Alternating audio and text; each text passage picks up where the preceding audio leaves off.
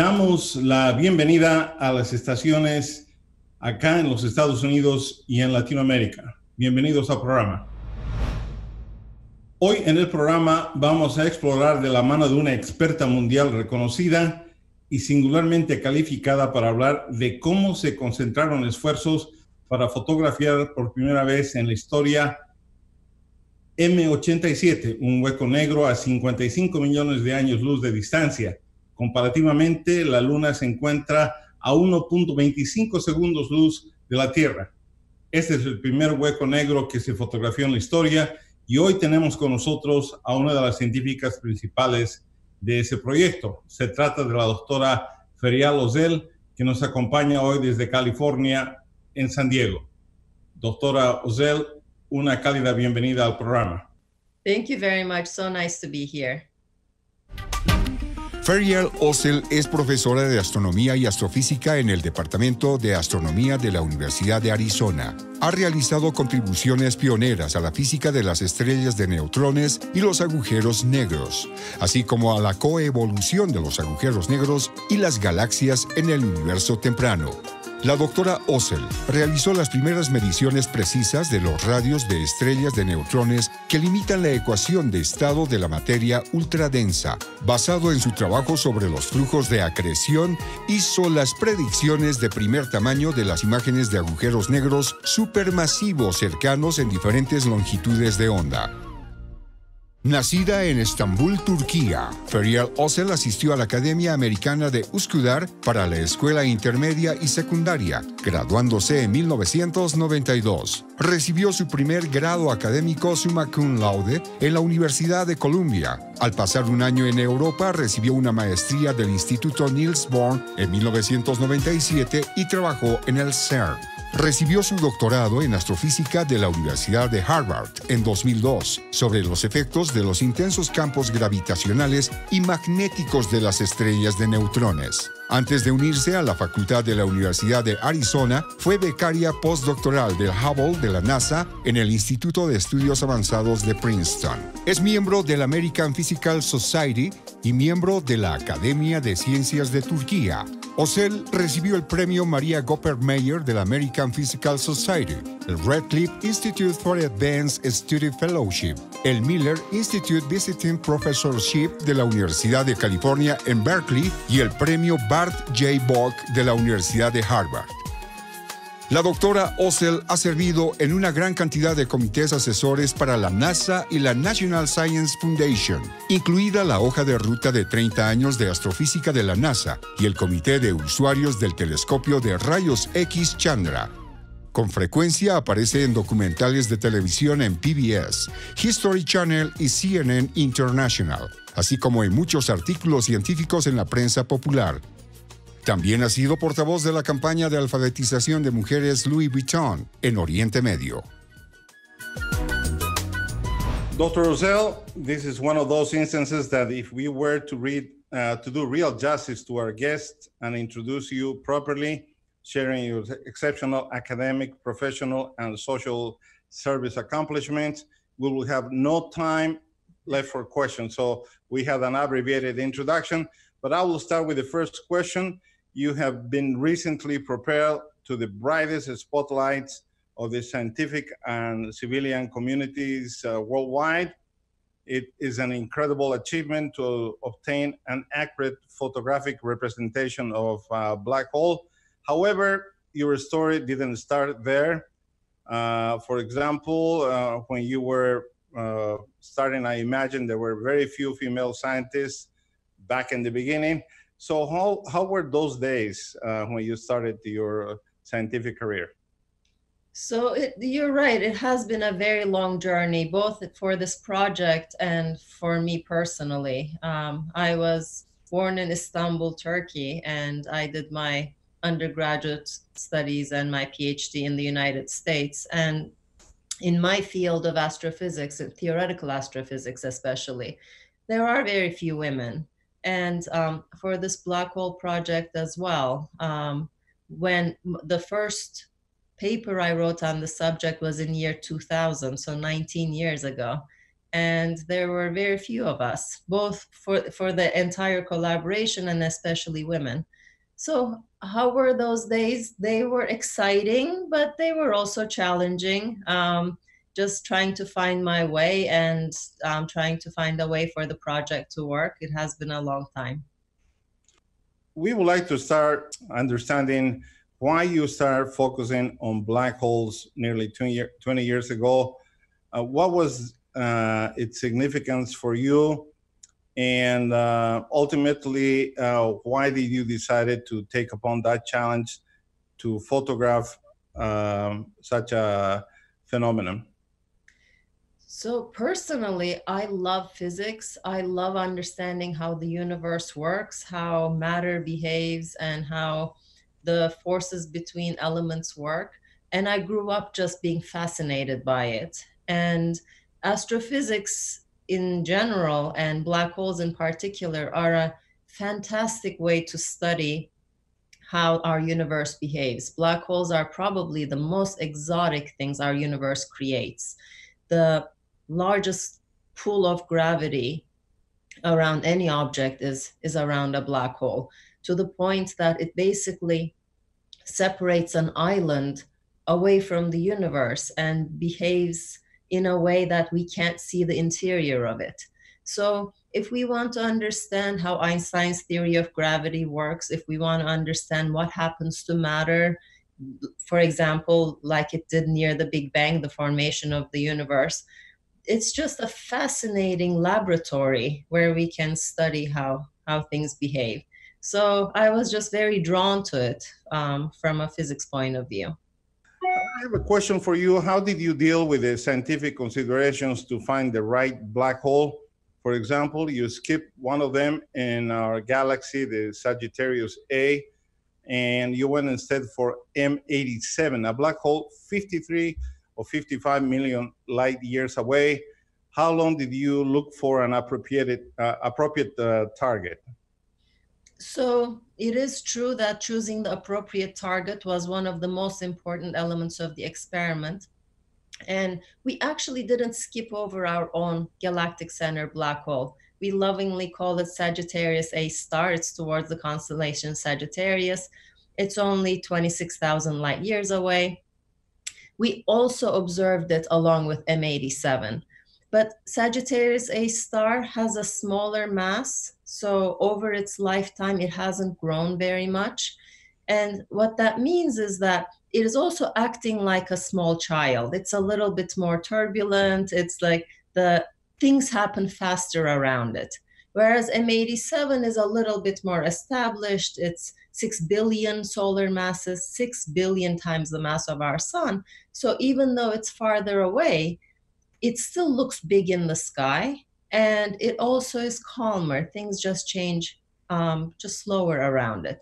So what we did was observe both of these black holes and in terms of the analysis of the data we focused on m87 first because it was a little bit easier and now all our efforts are turned towards our galactic center black hole nine stations made the event horizon telescope how were they chosen? What factors led to determine it was the uh, also it was the right time to proceed and have them all work together at the same time? Uh, what preparations you had to make uh, in terms of equipment? Uh, we understand that even some of them, uh, some of the instruments had to be caped in gold. Uh, so you had to improve technology. There were a number of issues. Tell us about those nine stations, please. Yes, I think it would take the whole program if I told you how we got the stations together. But um, I, your question is very important. Um, so what we want is telescopes that are separated by as far distances as possible. That gives us a better view, better resolution of what we're looking at in the sky. So basically, we wanted to scatter our telescopes across the globe as far as they will go but we also had to rely on some existing telescopes. I mean, in South America, for example, in the Atacama Desert in Chile, um, there is a wonderful, powerful array called ALMA, the millimeter telescope array. And right next to it, it's a, there's a neighbor called APEX. So we wanted to use both of these telescopes. In Mexico, um, we had uh, the Large Millimeter Telescope, very important site because um, we not only want telescopes across the globe, we also want to be able to see, for the telescopes, to see the source at the same time, so to work in unison. In Arizona, we have two telescopes, one on Mount Graham, one on Kitt Peak. But those are not enough. So when we had to extend the array, we wanted to go as far south as possible. So where is that? That's of course the South Pole. There was an existing dish, and my colleagues put the um, put the instrument on it to be able to bring that into the Event Horizon telescope. And then we went as far north as possible to Greenland, to the Greenland telescope, and brought that into the array. So east west to Hawaii to um, to Europe to north and south, we were able to bring in all the available uh, millimeter dishes. So a dish has to be good enough to observe in the wavelength that we're looking at. And uh, we, we basically brought in everything that we could into this experiment. Preparing was uh, very important, but also to weave together the observations from each observatory was also a challenge. Um, I read somewhere that um, you had to have absolute precision, uh, do it with delicate precision. Um, I understand there was uh, even a hydrogen maser atomic clock, uh, the precision of one second uh, every 100 million years. So there were a number of uh, uh, special pieces of technology that you had to upgrade and probably um, make uh, compatible uh, for to gather the information. What were those? what was the technology you you had to use in all these stations? Yeah, we mentioned that in order to see the fine detail of a small object that far away, like the M87 black hole or our own galactic center black hole, we need a huge dish. And since we can't do that, um, once we put these telescopes across the globe, we had to observe our source. We had to look at our source at the same time and very precisely record the data so that after the fact, we could get the signal from one telescope, signal from the other telescope, combine it, literally match them up wavelength by wavelength and make it look like it was one observation.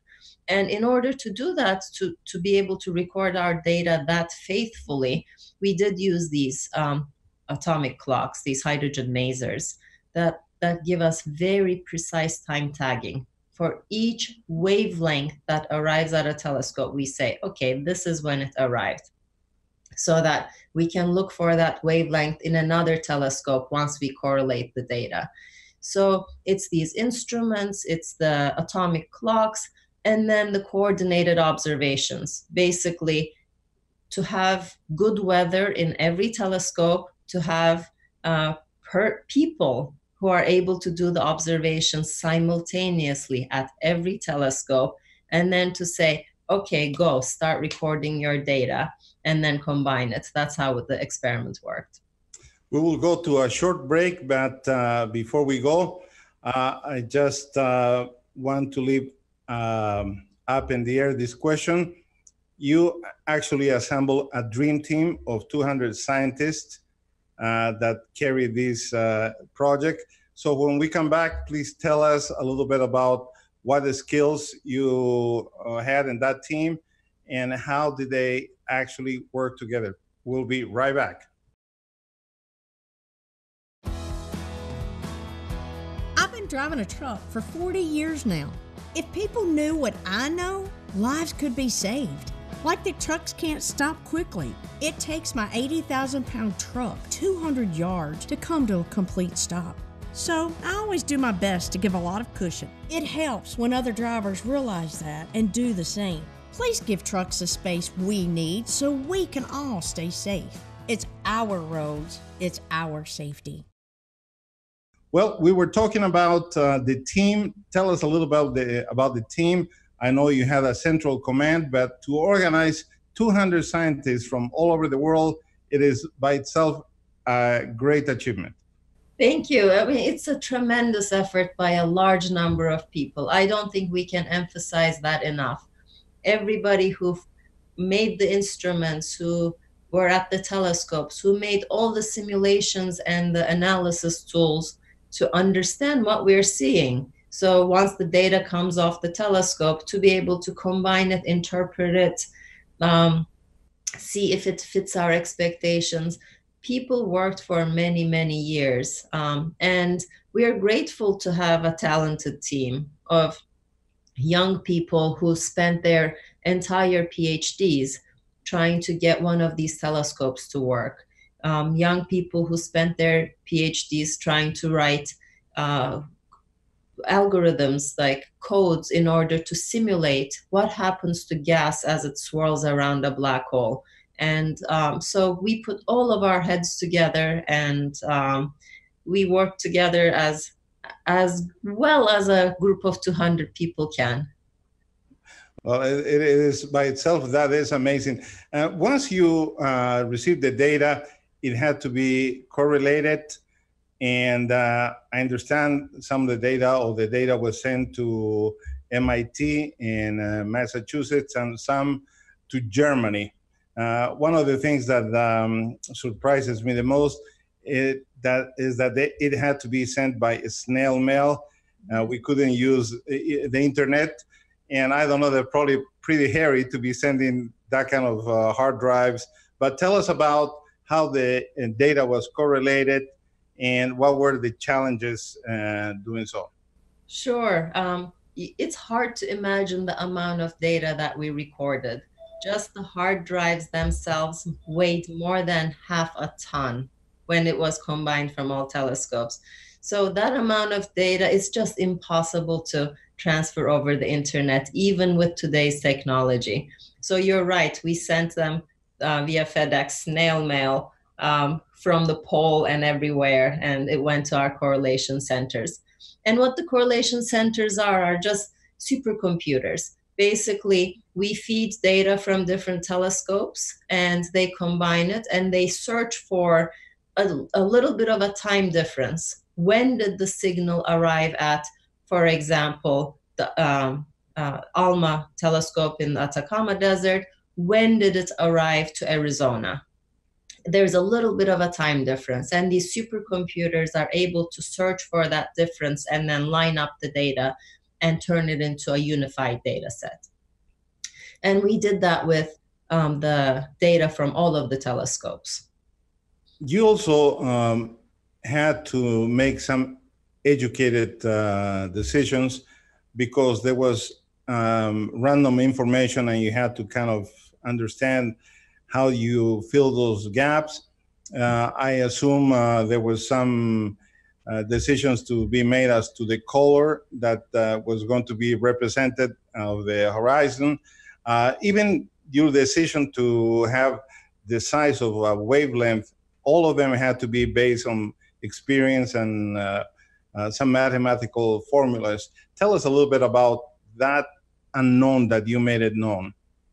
Sure, um, you're right. If we look at the this gas around the black hole at the wrong wavelength, let's say, um, the one wavelength that we can't see through, then all we're going to see is the torus of gas around the black hole, and we won't be able to see down to the heart of it.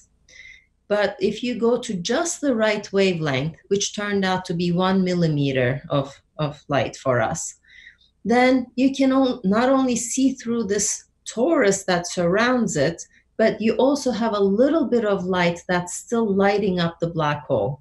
The black hole itself doesn't emit any light. We are relying on the hot gas swirling around it to light it up. So it's just like the Goldilocks story not too much, not too little. Choose just the right wavelength where if you zoom into the heart of the black hole, um, it's going to light up, but the black hole at the center, that, that signature we're looking for is not going to be obscured. And yeah, so that's one of the things that we did through years of computational modeling, try to understand how should we look? How, how would the gas around the black hole behave? So did every team uh, had their own um, decision uh, or recommendation, and then all of you came together? Because uh, I remember hearing that at one time, you all all the main stations uh, presented their findings. So um, you're right. For certain decisions, we had to put all of our different results together and and really agree on the interpretation for these other decisions that were made earlier on, there were very few of us who were working on it. So whoever had the answer basically shared it and said, you know, this is how we should look. This is the, um, this. These are the places that we should look at. And um, though that work was done early enough that basically, if you had the answer, you said it. Um, whereas towards the end, it was through a process like you said different algorithms, different analysis groups. And we said, okay, everybody, you do your own thing. Let's make sure that we're not biasing our results. Let's make sure that we compare it against many different types of models. And if we're going to say something about if Einstein was right or wrong, if we're going to say, well, how big is the black hole? Can we determine exactly the mass of it? then let's do it in different ways and compare our results. And surprisingly, we agreed. Is there a plan? Uh, you know, it's been 20 years and it looks like a long time, but it's only the beginning uh, because you have created a platform from which I'm sure you're building now. Are there any plans to add more telescopes, uh, to search other black holes, or to hone in on uh, M87? um, uh, improve the definitions. What are the next steps uh, that you as a team are looking into? Yes, definitely. We would like to take a better and better look at our our teles- uh, at our black holes with adding more telescopes. So um, the what I like to compare it to is like when you go to a doctor's office and they do a 3D imaging of you, and this um, this for example, if you're getting an MRI, the machine rotates around you. Well, we rely on the telescopes on Earth to rotate to get a better and better look at our, our source in the sky. So it's the same technique, which means that the more telescopes we put, the sharper the image we will get. And of course, right now we're limited by the size of the Earth. Even though it seems big, it's actually not big enough. What if we put a telescope or two in an orbit around the Earth in in in space, then our resolution will increase even further. So in the short term, our goals are to add more telescopes on Earth in places where there are holes in our image. And in the long run, we would love to develop the technology to be able to put um, telescope dishes in orbit. And then uh, the, one of the bottlenecks is, of course, the amount of data it's one thing to put the telescope in orbit, that's doable. But how do you get the data down and then combine it with the other telescopes? So there are some challenges that we're looking forward to addressing. But um, yeah, I, it's just the beginning right now. Well, I am going to go with your permission from literally the universal to the individual. Um, and I'm going to ask you, you serve in NASA boards. Uh, you are recognize inside and outside your uh, field. And um, you really stamp, along with uh, many of your team, um, a historical moment. How did that impact your life? Because we always picture scientists working in a almost in a solitary um, profession, but all of a sudden you are out there in the front pages uh, worldwide how does this whole notoriety help you out, uh, impacted you? And it's been a few months since uh, the presentations uh, around the world. Tell us a little bit about it. Do you want the true answer or the political answer? Uh, the, the, the, very true answer. I'm joking. Um, so it's true that it's it's a different way of living our daily lives. I mean, we are working more in small groups usually from that to going to a 200 person collaboration was already an adjustment and from that to just being in the spotlight is another adjustment. Um, I personally love communicating science. I, I love what I do, and I hope that our audiences uh, also enjoy like what it what it is to explore the universe and what it is to understand how it works. So I love that, but it's I also need to get back to my real job. Like there are days I feel like um, I I still have a lot of work to do, and the just the balance between communicating what we achieved and what we love, and getting back to the okay, this code needs to be debugged, and this you know this needs to be written, and just the the real daily life of it is a balance. So um, I think now we're probably more in the balance stage. Thank you, Dr. Ozel. Uh, we're going to finish with this question. What do you wish you knew at the start of your career that you know now that would have made a difference early on on the manner you approached astrophysics and science? Wow. Okay. Um, I wish I knew how um, collaborative effort was going to become more and more important. When I started my career, I literally worked on papers by myself. I have many publications where it's just me. And I enjoyed that. But I wish I knew that being a scientist also means being able to work with other people. And in today's world, so many different areas of expertise need to come together to make something big happen. I wish I understood that earlier on than, than I did. It's been a special honor for all of us uh, to hear from you, and uh, we hope we reconnect in the future. We thank you for all you have done, and through you, we thank your entire team of dedicated uh, scientists. Many of them we will perhaps will never know, but we certainly uh, will benefit from your accomplishments. Thank you very much. Thank you. It's been my pleasure.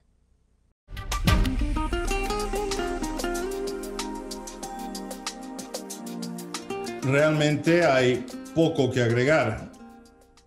Volvimos a soñar y a creer en las posibilidades de mujeres y hombres comprometidos con la excelencia y hacer lo imposible posible. Hasta una próxima oportunidad cuando exploremos juntos el ADN de las noticias. Gracias.